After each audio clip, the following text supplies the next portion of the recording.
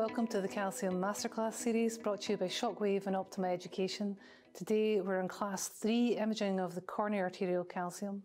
I'm Margaret McEntegart from the Golden Jubilee Hospital in Glasgow and I'm here in the studio with my co-host Colm Hanratty from the Mater Hospital in Dublin.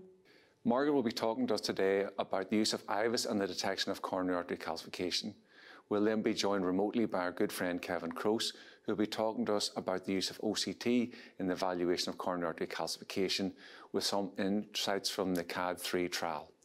But first, I'm delighted to introduce Anja Øksnes, who will be talking to us about the detection of coronary artery calcium. It's all about the angiogram. Anja? So thank you for the introduction, Margaret. It's nice to be part of this um, educational calcium masterclass. So I'm going to talk about the detection of coronary artery calcium in our daily practice as interventional cardiologist. And do we need something besides the, the angiogram? So looking at the merits and limitations of different imaging modalities for detecting coronary artery calcium, there's quite a variability in sensitivity and specificity. So the angio has a very high specificity, close to 90%, but the sensitivity is low, and we only get a two-dimensional perspective. Uh, the CT, though, has the advantage of being non-invasive and also have both a high sensitivity and specificity, but the inferior resolution makes it unable to visualize microcalcification and also less able to evaluate calcium thickness, volume, and, and lumen obstruction.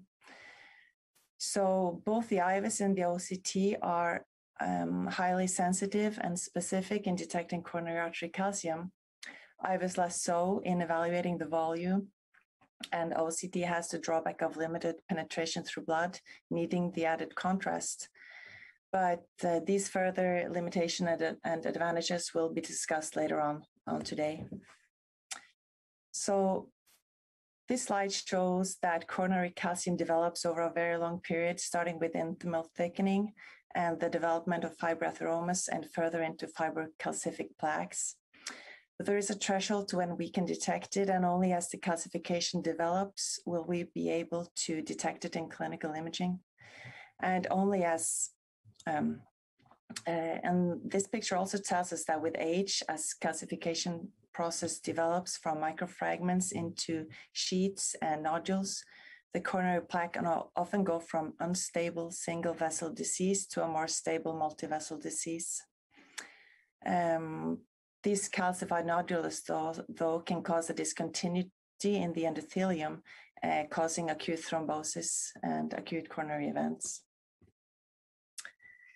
So one method for early detection of coronary calcium is the Agatston score, which is a semi-automated tool calculating a score based on the extent of coronary calcification uh, as detected by an unenhanced low-dose CT. It has its limitation, but it's a valuable tool in cardiac risk scoring and has a good correlation with contrast-enhanced uh, CT. Um, the Agatston score is calculated by multiplying the highest attenuation value in in um, or, or the highest density by the area or volume of the calcification. So, for example, if you have a calcified speck with a max attenuation of 400 Hounsfield units that occupies 8 square millimeter, millimeter area, you will have a calcium score of 32. And then you sum up every calcified speck throughout your coronary tree, and that gives you the the, um, the calcium score. So this slide tells us that uh, the age-adjusted mean calcium score throughout the population uh, obviously increases uh, with age. So this is uh, a video showing what the computer does identifying calcium. So, so the Agatston score can be calculated quickly and it, and it has a prognostic uh, relevance. Uh, it's actually calculated quite automatically by the software, but it's it's semi-automatic in the way that a radiographer or a physician needs to go through and check that calcium identified is in the correct, correct cardiac structure.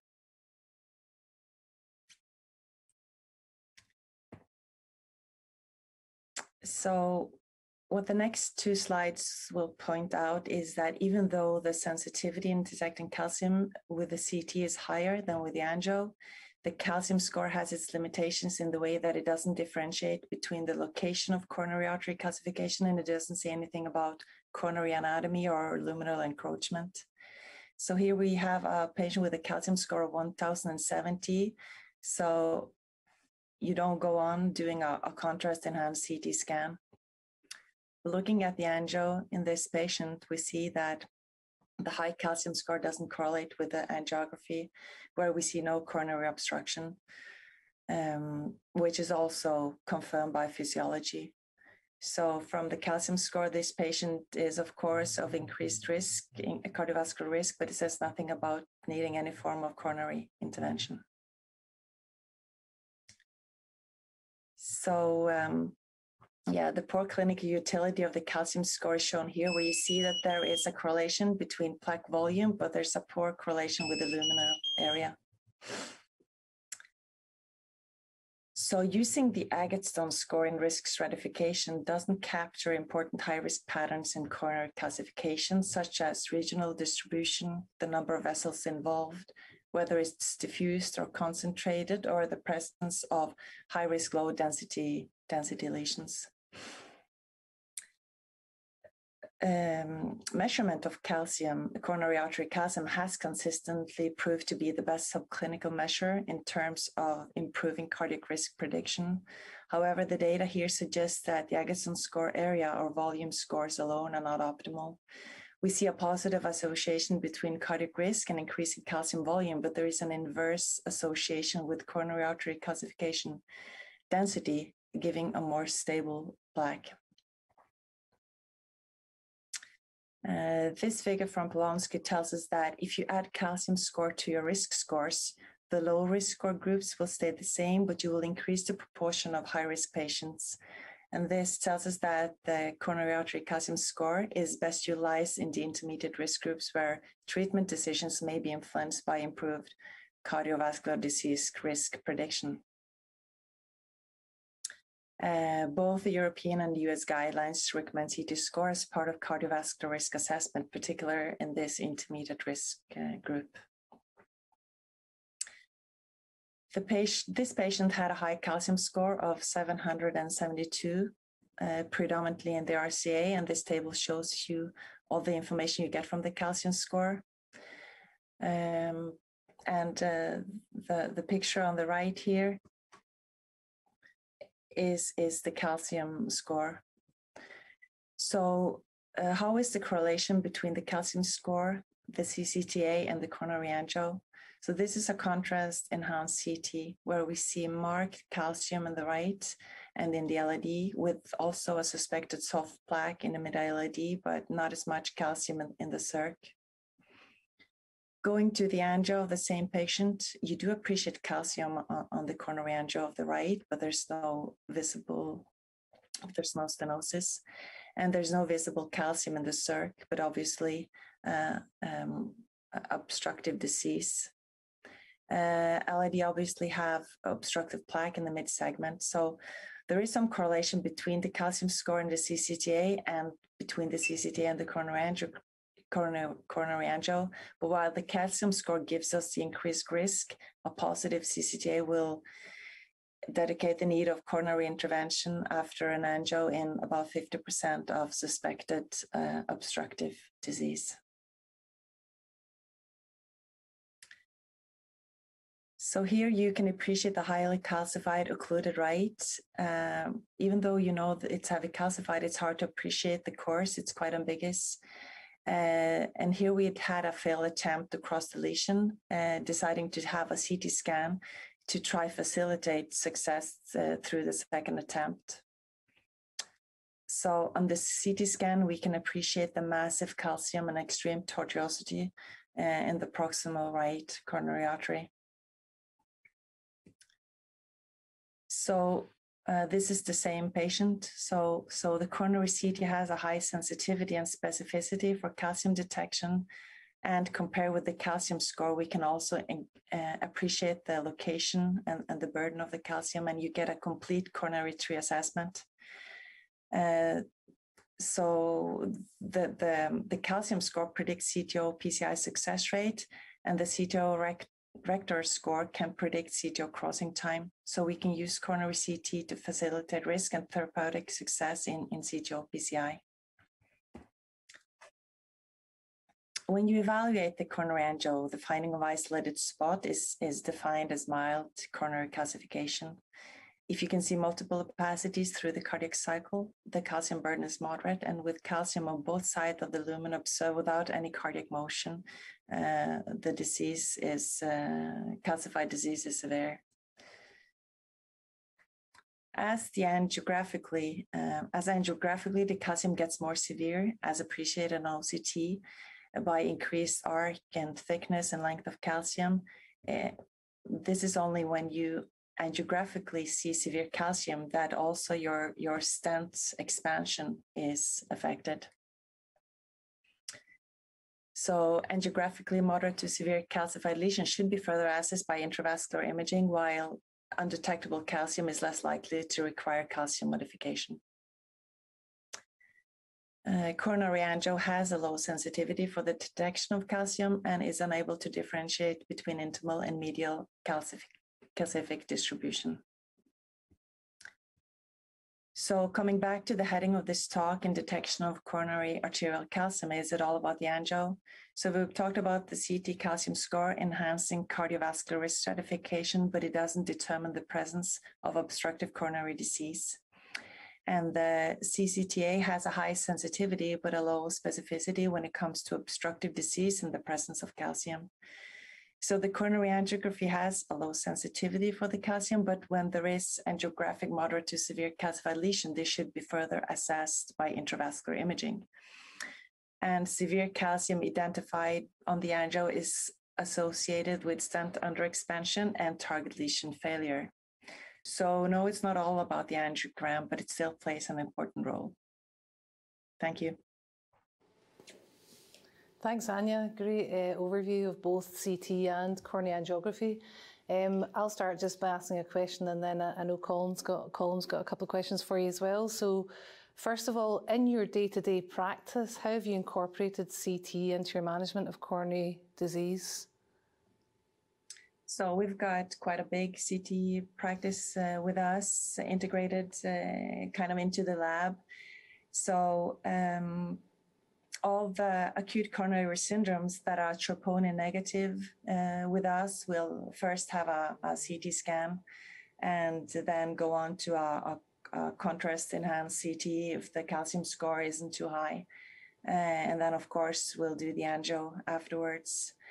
Um, we also do a, a, contrast enhanced CT, coronary CT of all our TAVI patients, looking at all the vessels uh, up front. And what and about your, your stable patients?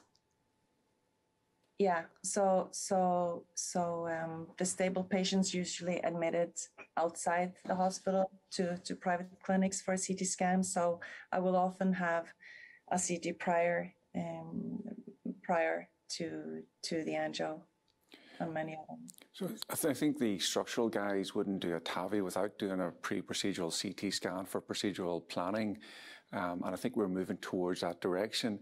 How far off are we to have co-registration with the CT scan? Do you think, Anja? Oh, um, well, with us, uh, there's uh, not much with that, but uh, hopefully. Um, there can be uh, be some shortly. Um, I'm not sure uh, with you, but there's we haven't started with that here.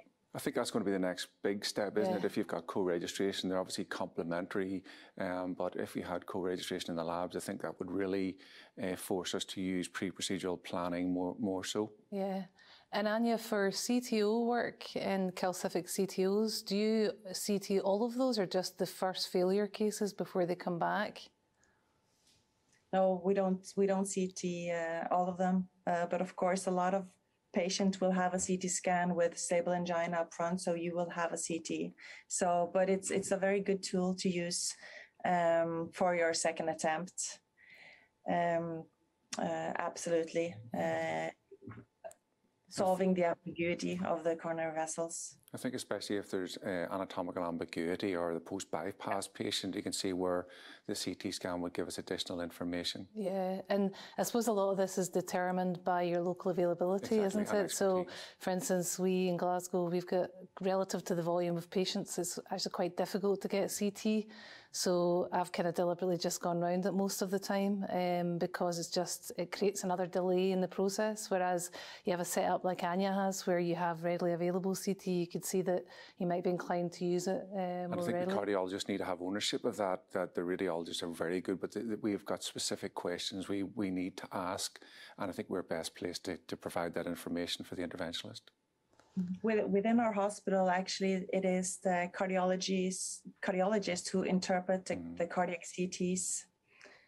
So, so you kind of get the clinical ev- evaluation uh, together with the CT scan.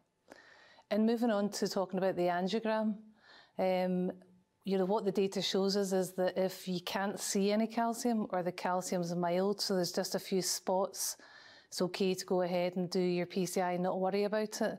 When you get to that bit in the middle where you see multiple spots through the vessel, so it's more like moderate calcium, where's your threshold there, Anja, for using intravascular imaging? Is are you waiting till you see severe tramline calcium, or are you going to use IVUS or OCT once you see multiple spots? No, I, I think we should um, go early with intravascular imaging because uh, you obviously it's not always uh, easy to to evaluate size as well from just the angio. So when there is when there is present of moderate to severe calcium, uh, I'll always go with uh, with imaging to optimize the stent for a good good long term result. And would you normally um, get the imaging out early in the case, you know, so try and use it at the start, assess your modification at the end, or, you know, there's always, there's been this slightly traditional behaviour of getting the IVUS out at the end to check your result. It's Have like you kind of moved? endorsed rather Yeah, than IVUS guided IVUS or endorsed, yeah. endorsed. I think I think with us as we don't have the physiologist uh, in our lab, so we need to think about uh, what we need early up. So so I think we should get it up as soon as you see the angio and have it prepped, and then it's uh, quick to use it throughout the procedure. And and um, I don't think it uh, makes the procedure any longer. Um, actually, it, it's quicker, you know, that you've done what you need to do. Yeah, I completely agree. And I think if you're going to use expensive technologies, that you should be informed in terms of which technology to select in the right uh, case. And certainly for any sort of complexity, I think the imaging up front really uh, accelerates your procedure. It's very efficient. Okay, Yeah, we're and now- obviously going to go on and talk about that um, through the rest of this uh, webinar today. So, um, fantastic, Anja. You any other comments? That was a, a great overview. I think that's good. So thank okay, you so much. nice to see me. you, and thanks for contributing. Bye. Bye. Okay, so we're back in the studio, and the next talk is from Margaret McEntegart, who's going to talk to us about the use of IVUS in the detection of coronary calcification. Thanks, Colm. So, intravascular imaging is sensitive for the detection of coronary artery calcium. We know from what Anja showed us earlier on that coronary angiography is insensitive to detect calcium, only detecting it in approximately 40% of lesions where we know it to be present. OCT is more sensitive, detecting, detecting it in approximately 77%, and IVUS is the most sensitive intravascular technique and detects calcium in 83% of lesions. If we look at how the appearance of calcium compares from IVUS to OCT, you can see in the IVUS image here on the left that calcium appears as this high signal intensity white appearance with a dropout behind, whereas in the OCT on the right hand side, you see this low signal intensity, well demarcated area in the vessel wall. Both IVUS and OCT will allow you to measure your arc of calcium and your length of calcium, but IVUS, because of the reflection of the acoustic waves, can't allow you to get a quantitative measure of depth, thickness, or volume, whereas OCT will allow you because you can see both edges and the well demarcated area of calcium, you can measure depth, thickness, and therefore the volume of calcium. So both IVUS and OCT have advantages and disadvantages. So if we think about IVUS first, so the advantages of IVUS are, as I said, you can look at the distribution of calcium, measure the arc and the length of calcium. It penetrates to the adventitia and will give you an accurate assessment of the vessel size. It's useful during CTO PCI. You can use it to assess the proximal cap, but also importantly, if you're extra plaque in the subintimal space, it's safe to use it without the risk of hydraulic dissection. And we, there's now extensive published data showing that IVUS use predicts a better stent and long-term clinical outcome. Disadvantages of IVUS are that you get signal dropout behind calcium. It'll give you a limited assessment of calcium thickness. We'll go on to look at that later on. Once, if you're using it after stenting during follow-up, your assessment of stent strut coverage is not possible, and also you get limited tissue characterization. So what about OCT? So advantages of OCT, in addition to measuring the length of calcium in the arc, you can also quantitatively measure the depth and the thickness. Um, and it's easier with OCT, as we'll see later on um, when Kevin speaks, to detect calcium fracture. Disadvantages of IVUS, you have to give additional contrast volume. You, you, there's a requirement to clear the vessel of blood, so you have to have a big enough lumen within the vessel to be able to use the contrast to clear the blood away to get adequate imaging. This sometimes, therefore, will require lesion preparation or predilatation before you get a baseline OCT run. There's limited penetration into the vessel wall, so it can be quite difficult to size larger vessels. And in CTO PCI, there's a concern that if you've, if you've used dissection reentry techniques and you've created subintimal planes or extra plaque tracks, that if you inject contrast for OCT, you can extend these. There is, uh, from the historical OCT catheters, they were considered to be a bit less deliverable than the IVUS catheters, but this is improving as the technology evolves. So if we look at calcified nodules, the appearance actually with IVUS and OCT is quite similar. You see this protruding bright tissue into the vessel lumen. If we look at concentric calcium, you see on the left with the IVUS, you see this bright white arc of calcium almost circumferentially around that luminal border. And you see on the right with the OCT, this very well demarcated, quite thick uh, arc of calcium all the way around the circumference of that vessel. So we concentrate on IVUS now. So when you're assessing calcium burden with IVUS, the two key things you're really going to look at is the arc of calcium and the length of calcium. So you can see here that this image on the, the left has a small arc of calcium on the right-hand side of the vessel and a further very small arc on the left, whereas the image on the right has a very large 270 degree arc of calcium, which is more of a concern. We can either describe the arc as the angle, uh, as you see here, 270 degrees, or you can describe it as how many quadrants of the vessel are involved in the calcium. So you see here in the left, there's a small arc of about 80 degrees involving one quadrant, whereas on the right, there's a much larger arc involving three quadrants.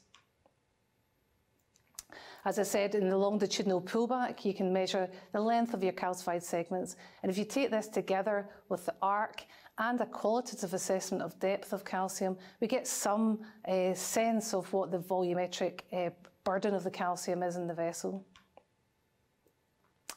Coming back to this issue of thickness, the main limitation of IVUS compared to OCT is you can't quantitatively measure the thickness of the calcium. So if you look at the two IVUS images in this slide, they actually look quite similar.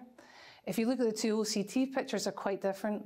So that IVUS on the left is a thin layer of calcium, and you can see that very clearly on the OCT image. Whereas on the right, there's a very thick chunk of calcium behind that bright white leading edge of the calcium seen on the IVUS. Cal- IVUS can give you some sense of the depth of calcium in the vessel wall. So on the left-hand side here, you see superficial calcium at the intimal luminal border. And on the right-hand side, you can see there's a, a deep layer of calcium uh, in the vessel, more towards the medial adventitial border. You can describe this either as its location in relation to the layers of the vessel or whether it's in the 50% of plaque closer to the lumen or the 50% of plaque closer to the adventitia. Okay, so just some cases to illustrate these points. So this is a still angiogram um, of a left coronary system. And what you can see there is there's angiographically severe calcium, both in what looks like the distal left main and the proximal LAD. So you see calcium on both sides of the vessel wall without cardiac motion. If we go on and look at the moving angiogram, what we can see is that the calcium in the distal left main looks like it's possibly nodular just from its morphology there in the angiogram, whereas the calcium further down in the LAD looks like it's non-nodular. So what does the IVUS show us? So in the mid-LAD, um, where the calcium looked like it was moderate. Indeed, there's 90 degree arcs of calcium, like you see on the IVUS image, still IVUS image on the right hand side. As we move further up the vessel to in front of the, the diagonal system, the calcium becomes more severe and the arcs of calcium become 270 degrees. And as we get to that area that looks nodular in the angiogram, indeed it is a nodule protruding into the vessel, but in fact it was more in the ostium of the LAD than in the left main itself. So IVUS contributed a lot to this case in terms of how we're going to deal with the case um, and what level of calcium modification we required in different areas of the vessel. So let's look at a second case. So again, this is a still angiogram of a left coronary system. There's an area of severe angiographic calcification in the proximal LAD where we can see calcium on both sides of the vessel without cardiac motion. If we look at the circumflex, the calcification of the circumflex looks less severe. There are some areas of calcium down the length of the mid, proximal mid-circumflex, but probably more moderate. And you can see also in the distal left main into the proximal LAD, there's a kind of unilateral plate of calcium um, across that segment of the vessel. So what did the um, what did the the IVUS shows show us? And I'm particularly going to concentrate here in the circumflex.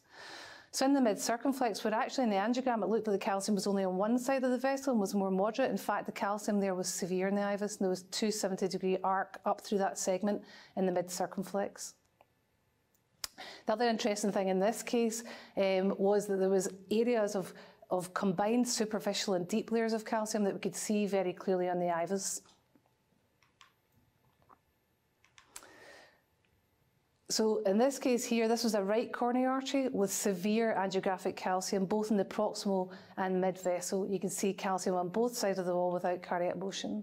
And then when we look at the moving angiogram, indeed that confirms that. So this is a very heavily calcified uh, proximal to mid RCA with some tortuosity as well. That's going to cause us some further problems. So this can be a problem for both modalities of imaging. So the delivery of the imaging catheters through this type of vessel can be difficult and sometimes not possible. In addition to deliverability of the catheter, for OCT, as I explained earlier on, one of the problems can be clearance of the blood out of the vessel to allow the vessel to fill with contrast and allow you to get adequate imaging. And it's likely you're going to probably have to pre-treat that segment before you're going to be able to get a good OCT image. As also mentioned earlier on, in this situation, even if you can get the IVUS down, we're going to have problems related to signal dropout behind the calcium and an assessment of how deep that calcium is. So what we did in this case was we used IVL and we treated that whole segment of the proximal to mid RCA. And what you can see in this uh, moving angiogram is the first thing that strikes you is you see the calcium plates are moving separately. So we've disrupt, disrupted what I presume was concentric calcium into multiple plates of calcium that are moving um, separate from each other. And you start to see some fractures come in, and I'll show you those more clearly in the next slide. So as we came up through that mid to proximal RCA, there was fractures in multiple locations that are highlighted here by the arrows. So we had very nice calcium modification with the short shockwave device in this uh, long segment of disease. I wanted to come back in this case to illustrate this issue about whether you can use IVUS to assess thin and thick calcium. So in this very short uh, moving picture from that same vessel, if you look at where these arrows are, you see this reverberation behind the calcium. It's almost like echoes or ripples in a pond behind that plate of calcium. So there's a small amount of data that suggests if you have a smooth a bright white surface of calcium, like you can see there, between 7 and 11 o'clock, with these reverberations behind, that's likely to represent thin calcium if you then go on and reassess it with OCT.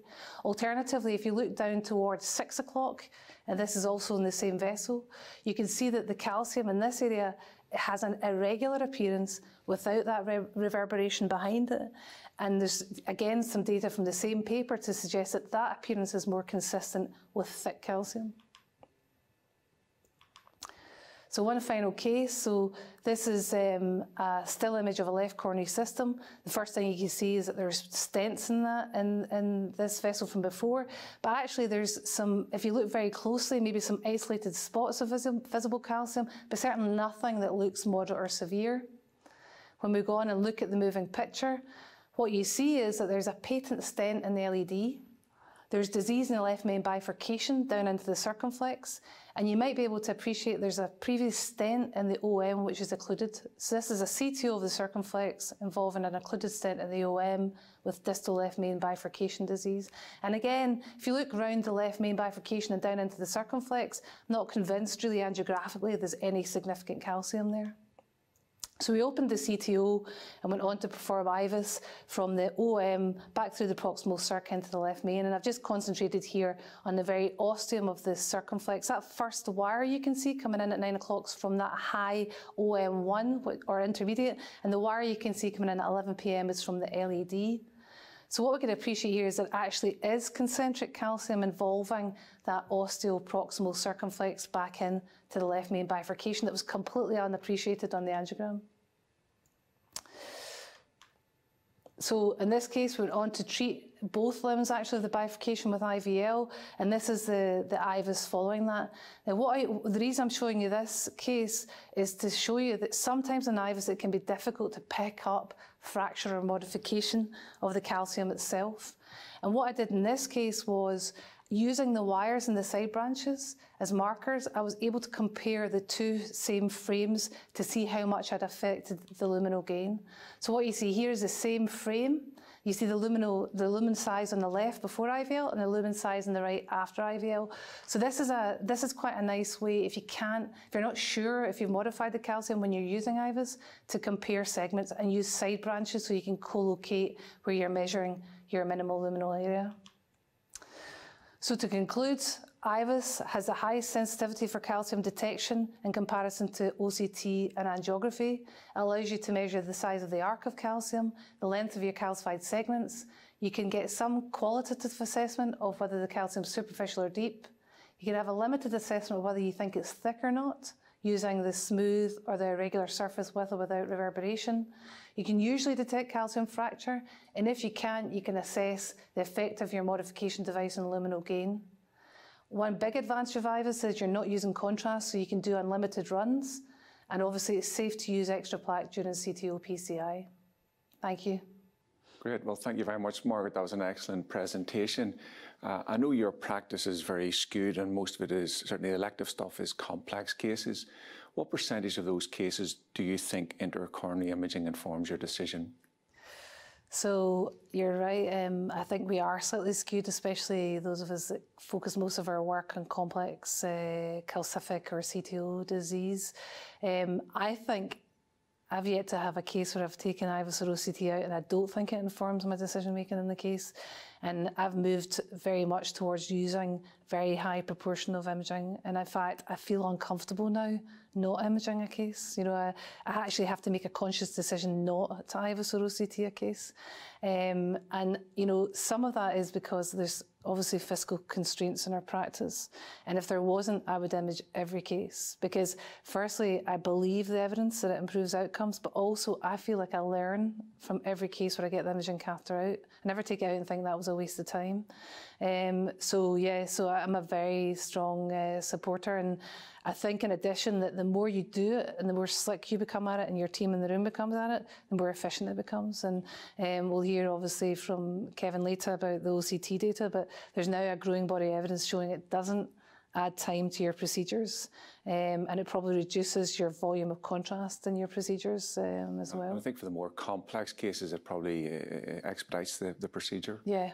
What percentage of uh, stent failure shows you showed a case of, of a stent failure, yeah. and then when you imaged and saw upstream that that disease was probably there for you know predating the, the original stent. Yeah. What percentage of cases where you've got a stent failure do you think you will find a mechanical issue that uh, maybe could have prevented that stent failure?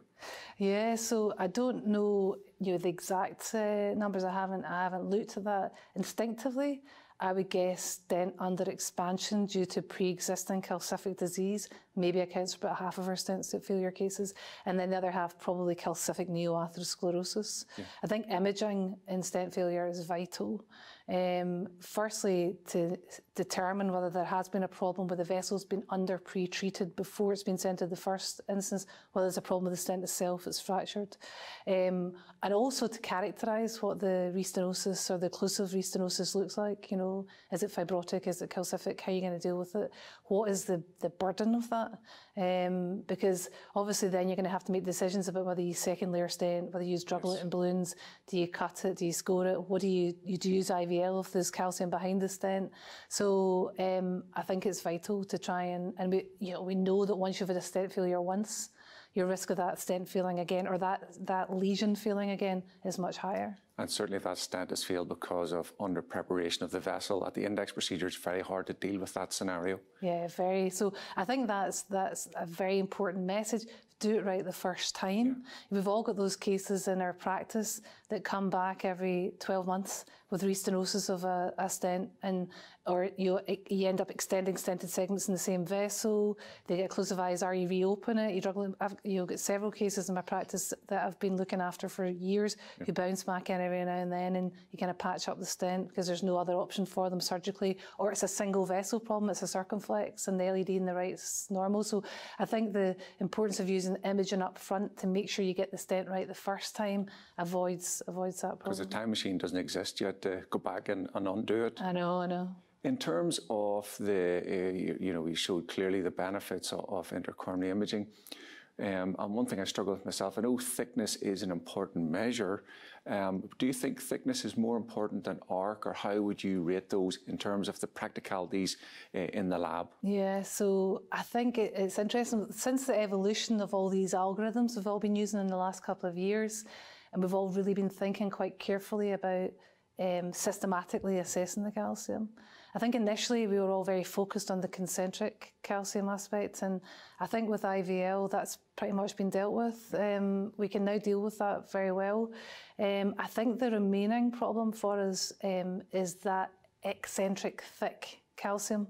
Um, you know, so maybe like a you know 120 to 180 degree area of calcium but it's really dense and thick. And no matter what you do, you end up with a kind of D-shaped stent at the end. You've got a good stent area, but it's still eccentric. And so I, I think to, for me, in my, my feeling and my experience is thickness becomes increasingly important in that setting. Yeah. Um, Whereas a concentric, thick lesion, you know you're going to get a very good result with with exactly because obviously the yeah the problem obviously is if you have the eccentric thickness is that you know, we, it, it looks from the data that's available that lithotripsy also will impact on that.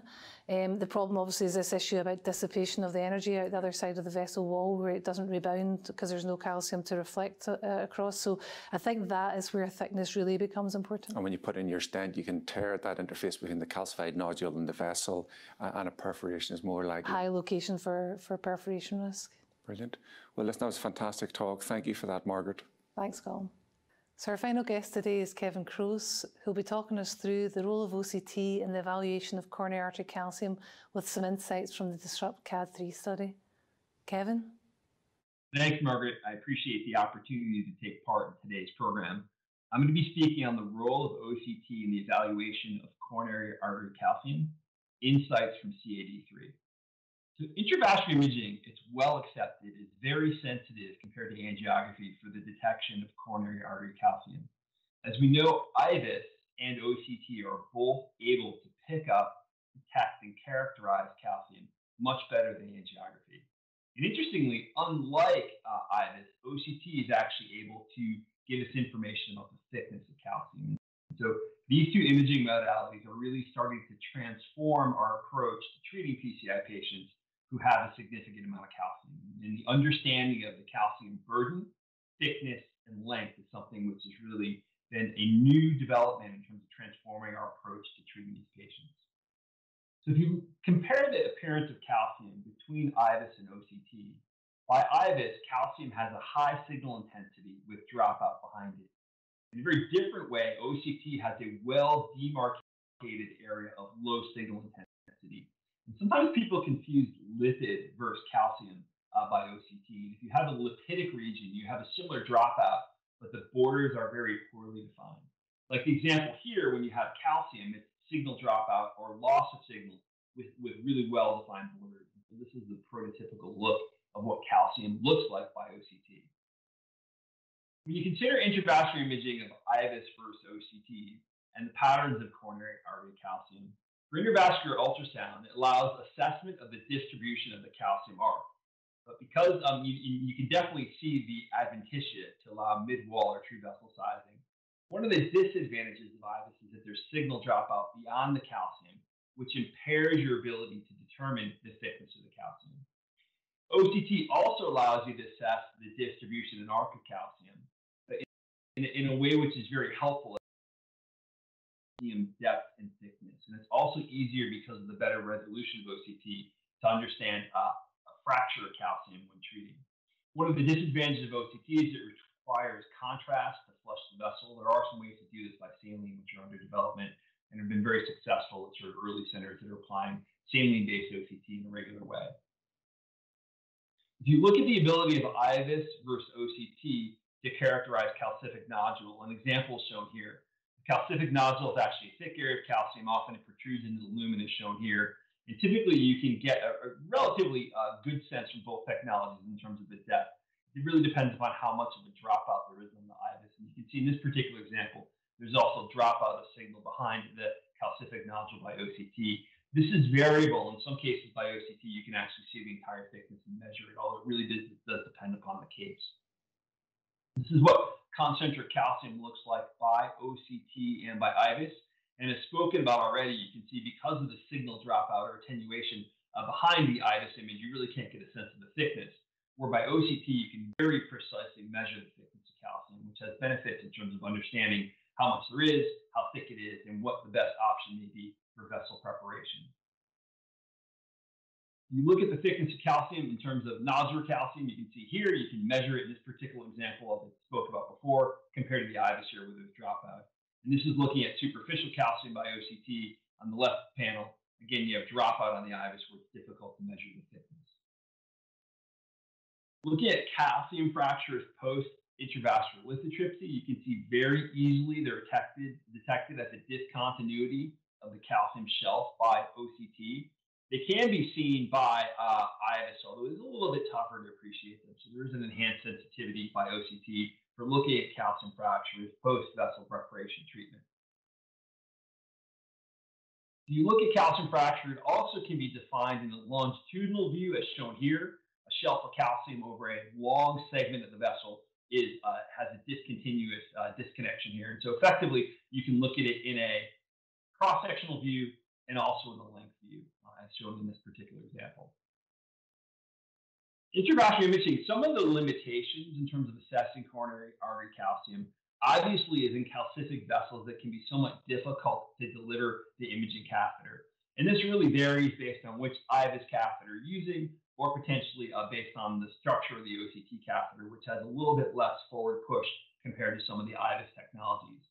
The other thing that you have to be able to do to get good OCT images is you actually have to be able to clear the blood uh, from the artery. This is difficult if the OCT catheter is occlusive in a tight lesion. so many times as we apply OCT to complex PCI, we'll do a little bit of vessel prep with a balloon to be able to get enough space to get clearance.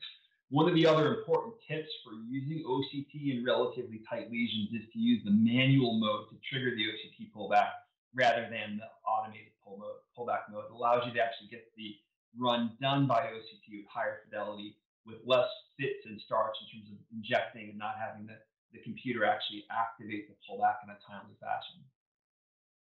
One of the most useful uh, structures in terms of how to define coronary artery calcium is outlined in this publication from 2018 from the CRF group. This is a, a, paper which I ask all of our interventional fellows to read. It's one of the most important things which informs how we move forward in terms of assessing calcium in complex PCI.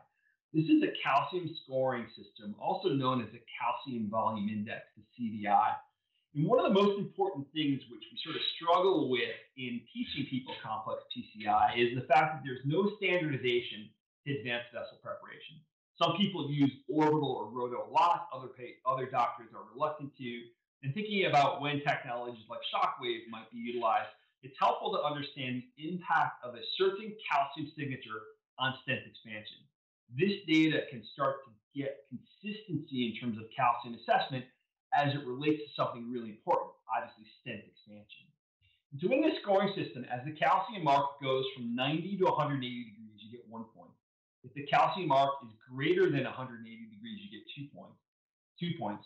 If the calcium thickness is greater than half a millimeter or the length is greater than five millimeters, you get an additional point. And so effectively, as you go from zero to four on this calcium volume index score, with three and four points being the place where you start to see a precipitous drop off in stent expansion.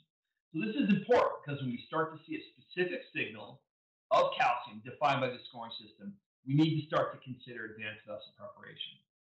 This is an example of thick calcium greater than 180 degrees with a length of more than five millimeters. And so this has a CVI score of four, in which case I think advanced vessel prep, everyone would agree, would be warranted, especially based on the thickness seen here. One of the things we've been working hard to apply is a new prescriptive methodology to do pre-assessment by OCT and post-PCI assessment in a standardized way. We've named this workflow MLD Max really as, as a consistent and agreed upon prescriptive OCT PCI optimization strategy. The MLD refers to the pre-PCI OCT where we determine a strategy, assessing M, the morphology, determining the length of the stent, and then determining the diameter of stent based on the distal reference segment. And so applying this in a very prescriptive way has been something which has been happening in the US across several centers, really with a goal towards studying how this prescriptive strategy behaves in real world practice. After the stent is placed and post dilated, the post PCI OCT drives stent optimization. And there the acronym is MAX, looking for presence or absence of medial dissections at the edges of the stent assessing apposition, and then looking very critically to see if we have good expansion. And so when we apply this MLD max strategy, we're looking to determine the vessel morphology pre, optimize plaque preparation and vessel preparation, the idea that we're looking to get excellent stent expansion at the end of the case, free of medial dissections at the edges, and also determining that we have good stent apposition. When you apply the MLD MAX strategy in our Light Lab program, which is across 12 US centers with over 40 operators in real world practice, we see that the impact of the pre PCI OCT changes diagnosis and decision making in 83% of lesions. And if you look here, many of the things highlighted in dark blue are certain changes based on what the physician would have done on the angiogram after doing the pre-PCI OCT, you can see the lesion type, the lesion evaluation, the type of vessel prep, and how you actually end up treating in terms of diameter are really things which are changed by assessing the vessel with imaging up front. And on the back end, if you take this MLD Max prescriptive strategy, the majority of impact is in the planning. If you plan the case correctly, you have a lot less to do on the back end to optimize. You can see on the post PCI OCT, the impact of the imaging was actually only 31% of lesions because you got it right up front. This is the difference between just checking on the back end and doing an OCT endorsed PCI versus doing one where you actually plan the case in a very prescriptive way based on data, based on clearly knowing what is going on in terms of the morphology, the length, and the diameter of the artery. In cases where OCT detected calcium in light lab, you can see that 47% of the time when calcium was detected, the physician changed their vessel preparation strategy, either to predilation with compliant or non-compliant balloons, to escalation to cutting or scoring balloons, or in 25% of cases, escalation to atherectomy or laser. And so we talked before about the fact that imaging detects calcium with a greater sensitivity than angiography. When it detected it in our light lab program, it changed vessel preparation almost half the time. So I think it really is a call to action to be able to assess vessel morphology assess calcium burden because when we use imaging, we see that a significant portion of the time calcium is there when we don't detect it angiographically, and it changes what we do in terms of the vessel prep strategy. So if you look at the uh, data from uh, the recent Shockwave publication, thinking about the procedural characteristics of the OCT substudy, which was 100 patients compared to the non-OCT, which is 331. The demographics in these two groups are relatively similar. Predilation was a little bit higher in the non-OCT group. The number of IVL catheters used between the two, uh, two groups was 1.3 to 1.2. The inflation pressures were very similar. The number of pulses were relatively similar. The post-IVL dilation was pretty similar. Number of stents used was similar. Post-stent dilation was uh, post-stent dilatation was uh, equal in both groups, and the procedure time is very similar. And this is something we've actually seen from our Light Lab program. If you use a prescriptive OCT-based strategy, it does not add time to the procedure. Probably because you're making decisions in a very rational way and have less to do because you're working on a template of knowing exactly how the case should run based on the intravascular imaging data. Looking here at the calcium fracture characteristics, post-IVL versus post-stent, you can see that the number of fractures in terms of the times when they weren't seen was pretty similar, single fractures was similar, and multiple fractures was, quite similar. And so the fracture depth also was similar, as was the fracture width was a little bit bigger post-stent after you actually stent the vessel open. But effectively, you see that post-IVL to post-stent, there is a significant ability to detect fractures in this particular subset. If you look at outcomes by fracture visualization, interestingly, minimal stent area was similar, stent expansion was similar, and the area of stenosis was similar. And so you question if you don't see fractures by OCT, how are we able to then get to the place where the stent expansion and area stenosis is similar? And that's probably because even though the OCT is more sensitive than IVUS at detecting fracture, there probably is fracture of the calcium, which is microscopic and can't be detected by OCT. That is the premise of why, even in the absence of OCT detected calcium fractures, you get very good stent uh, expansion using the IVL technology. And so, in order to, uh, you know, uh, show an example case here, we have a, a patient who uh, had a significant amount of calcium that we're going to run through. And so this is a 71 year old gentleman with an acute coronary syndrome, normal left ventricular function. And interestingly, he had an anomalous left coronary arising from the right coronary cusp. You can see that the culprit for his acute coronary syndrome was this large, super dominant because of his variant anatomy, right coronary artery, with a significant amount of calcium and a near functional occlusion in the mid segment. So we plan to do RCA PCI for this patient. You can see the culprit here. The fluoroscopic calcium was quite marked. The plan here was to use a temporary pacing wire for this case, given the amount of myocardium subtended and the fact that we figured we were going to need to use a significant amount of atherectomy. We took a supportive guide with an AL one, crossed with a pilot 50, uh, used a turnpike LP to get through and change for a Viper Flex, which is the wire which we use with our orbital atherectomy device. Here shows the wire exchange with the turnpike LP. For the initial orbital, we did 14 runs in this highly calcified segment, seven on low speed and seven on high speed. And then we did not see much audible or hear much audible change in the uh, device as we were passing through toward the end. And so we figured, we hoped we had achieved adequate vessel prep. Despite the 14 runs of orbital, a significant number of them being on high, the balloon was still unexpandable. We did an initial additional nine runs of orbital on high speed hoping to get additional vessel preparation. I chose orbital in this case because of the large caliber of the artery, figuring that the mechanism of rotation in 360 degrees would help to get adequate vessel preparation. Despite the 23 runs of orbital atherectomy, our 3.5 by 6 AngioSculpt at very high pressure was still unexpandable.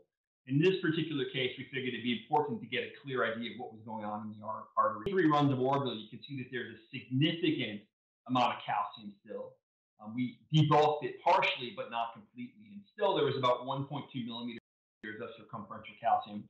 This is in large part owing to the high, uh, the large caliber of the artery, and the fact that despite using orbital to significant number of runs, we still were unable to crack the calcium in this particular example.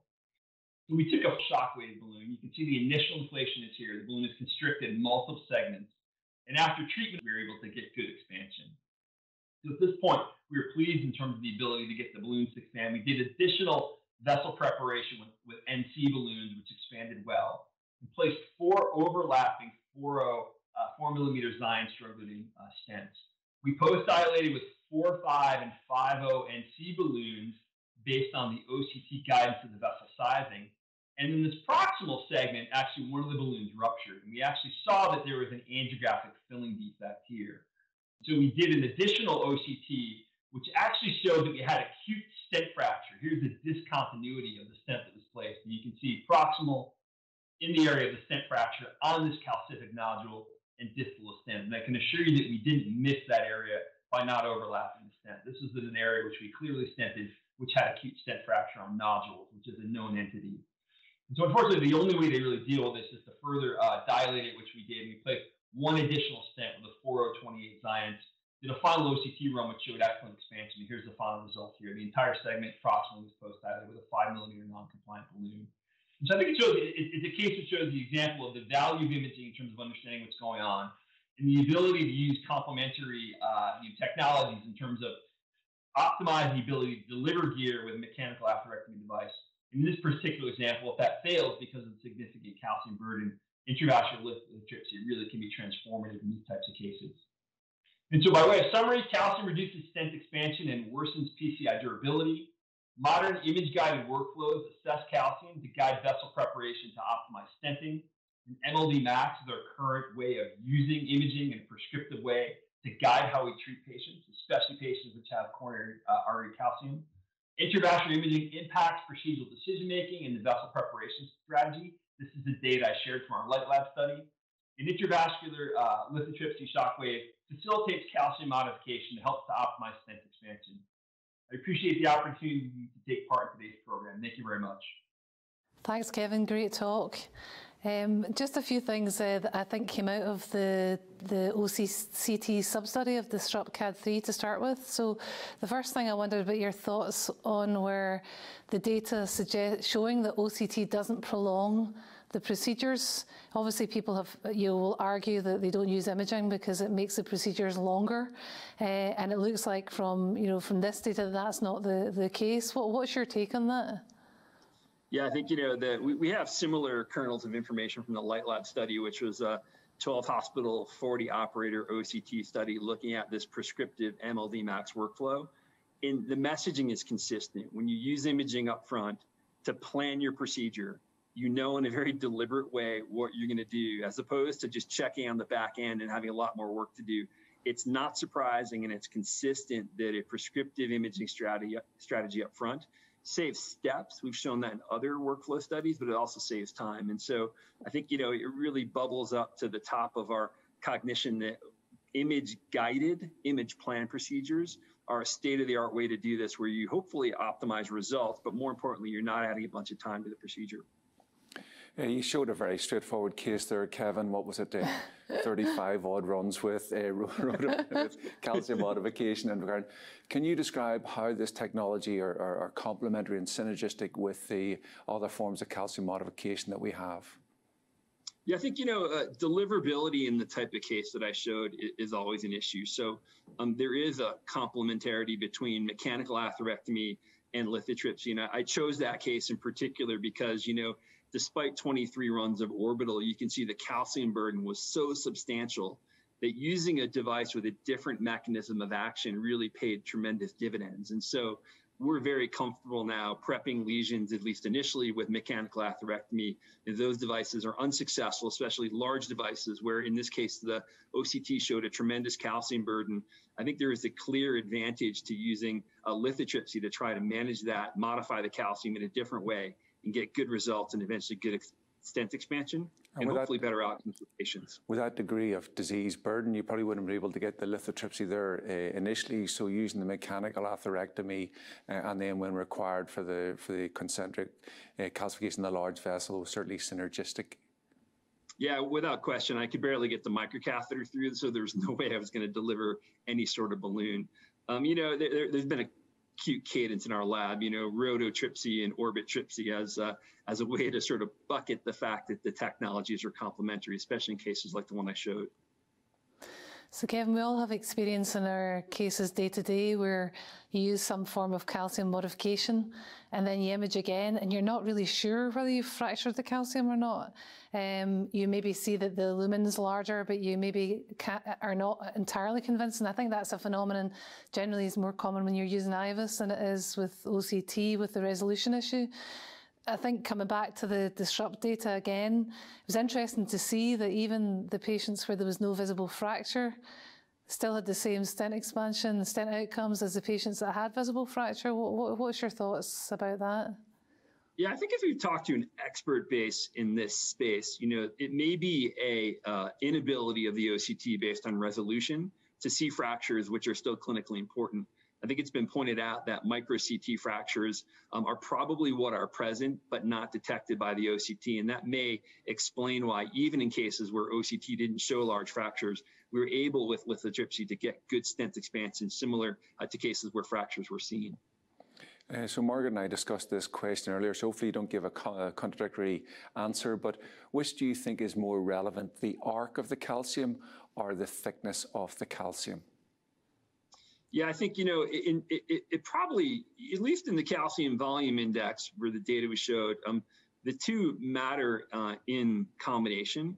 I think if I had to choose the one which makes me um, most uh, anxious from a vessel prep standpoint, it's thickness. Because like the case I showed, I mean, if you've got a thin, uh, if you've got a, a 360 degree arc, but it's quite thin, it's a lot easier to address as opposed to a rind of two millimeters, which was probably present in the case I showed, where even 23 runs of mechanical atherectomy were unable to modify in a way which would lead to good expansion. So my vote would be thickness. You know, super thick calcium can be pretty tough to deal with.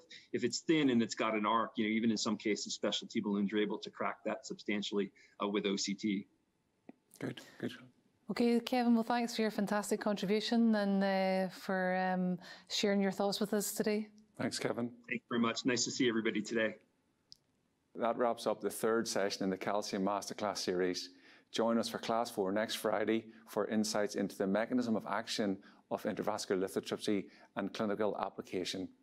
Our hosts will be James Spratt and Simon Wilson here in the studio in London, and we will be joined remotely by Michael Joner, Nadia Sutton, and Ziad Ali. Thanks very much. And goodbye for now.